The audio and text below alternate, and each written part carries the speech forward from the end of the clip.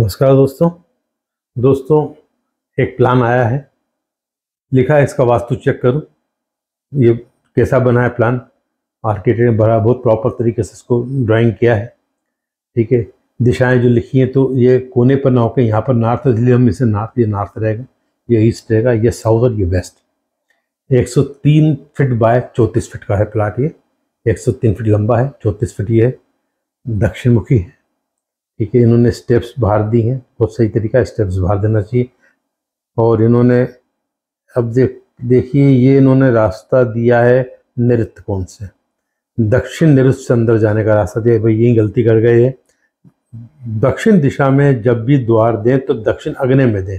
ये द्वार यम का द्वार कहलाता है। ये विभिन्न प्रकार की समस्याएँ पैदा करता है परिवार में और खास करके स्त्रियों की, के लिए।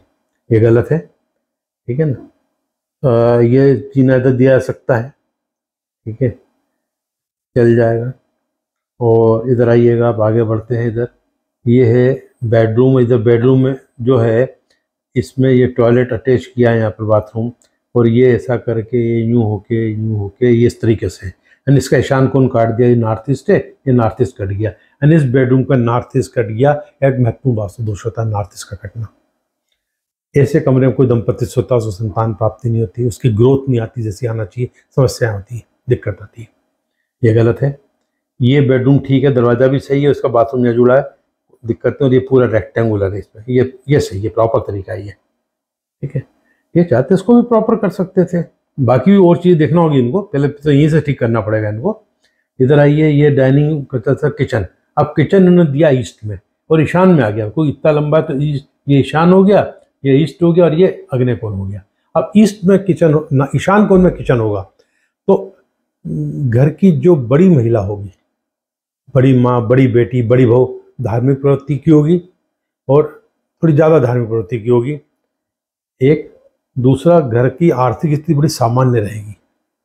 स्थिति सामान्य रहेगी मतलब उसमें भी जो है, इस घर की कन्या स्त्रियों को स्वास्थ्य संबंधी कष्ट भी रहेंगे। एक आर्थिक से सामान्य और एक बात देखने में आई है, जो शास्त्रों में जानकारी मिली है, जो विद्वान लोगों ने रिसर्च करी तो मैंने भी, कई विद्वानों में भी पढ़ता हूँ भाई, ठीक है ना? उनका यह कहना है कि ऐसे घरों में क्या होता है कि घर की जो मालकिन होती है, वो कुछ पैसे की बचत करती है, होता है ना?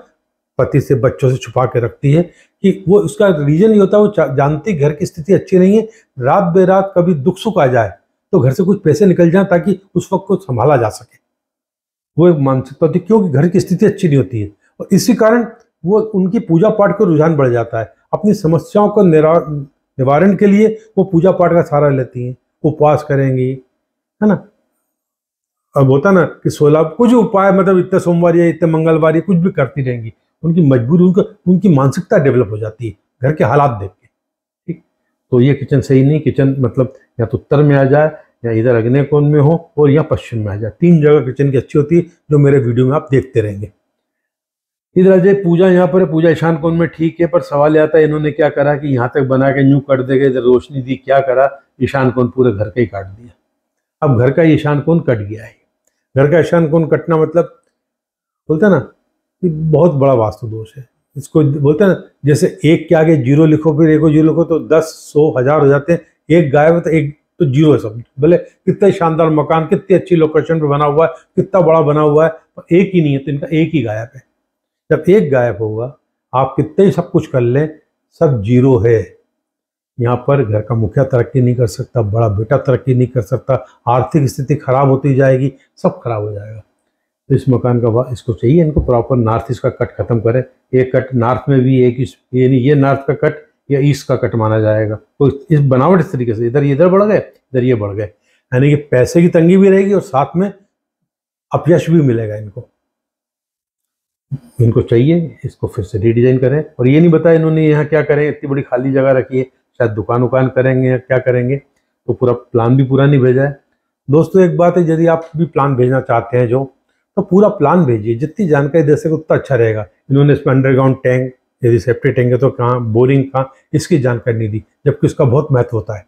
लोग समझते हैं कि सिर्फ़ इतना प्लान बता दिया और काम हो गया, नहीं। इसके साथ साथ इससे ज़्यादा महत्वपूर्ण बोलूँगा मैं कि आपके अंडरग्राउंड टैंक्स कैसे हैं, आपका फ्लोर लेवल कैसा है? यानी यहाँ का फ्लोर लेवल क्या है, यहाँ का क्या है, यहाँ का क्या है? आपके कोई बेसमेंट तो नहीं है, कोई बड़ा चैम्बर तो नहीं बना दिया आपने?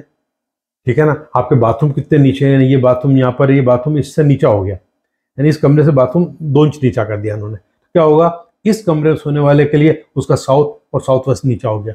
उसके, उस, इस दंपत्ति को या जो सोएगा, उसको स्वास्थ्य संबंधी कष्ट रहेंगे। तो ये बहुत महत्वपूर्ण है। कि सिर्फ़ लोग मुझसे कई बार बोलते आप प्लान पर जरा जानकारी दे दीजिए। प्लान पर जानकारी देने से क्या इसके अलावा बहुत सारी बातें हैं। फिर बनाते वक्त आपको हर चीज़ की कनेक्टिविटी कैसे देना है, वो बहुत महत्वपूर्ण होता है। मुझे उम्मीद है कि आपको वीडियो पसंद आई होगी। नमस्कार।